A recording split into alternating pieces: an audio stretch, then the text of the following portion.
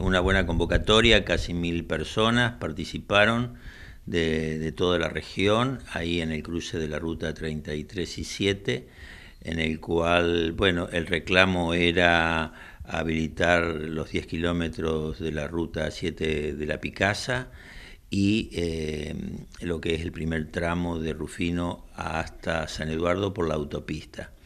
Este es un reclamo que se viene haciendo, en el cual la Comisión Plan Autopista está de acuerdo con realizar todos los reclamos que sean necesarios para tener latente esa demanda, porque realmente necesitamos que la autopista comience en el menor tiempo posible, dado a que este año es un año más complicado para el tránsito, dado que la producción de grano es superior a la del año pasado.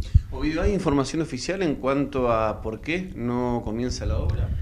No hay una información oficial. Eh, en, la, última oportunidad que tuvimos en contacto con Vialidad Nacional, eh, bueno, ellos estiman que en, el mes de abril, mes de mayo, tendrían que dar comienzo a las obras, pero eh, de la empresa Supercemento, que la empresa, que bueno, es una UTE, pero la que es la, empresa visible es la empresa Supercemento, eh, no tienen definiciones. Lo que ellos transmiten es que están tratando de negociar, encontrándole como es la vuelta para que el recurso financiero esté disponible para comenzar las obras. Así que esperemos que en algún momento se destrabe esa situación.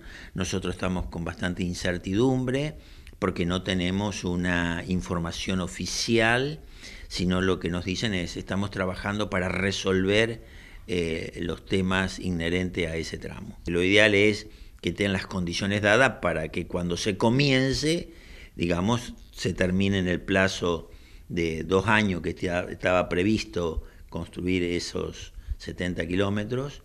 Así que, así que estamos a la espera. Realmente es una situación incómoda para todos, porque bueno, todo el grupo que estamos trabajando en esto de toda, de toda la zona, realmente estamos ansiosos para que eso se defina. El segundo tramo que va desde San Eduardo hasta Rosario, pasando por Venado, por Firmat, que lo hace un privado, ¿hay novedades también o no?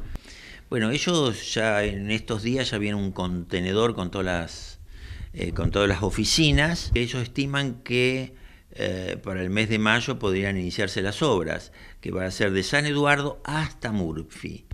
Así que eso es latente, aparentemente está todo en condiciones para que esas obras empiecen.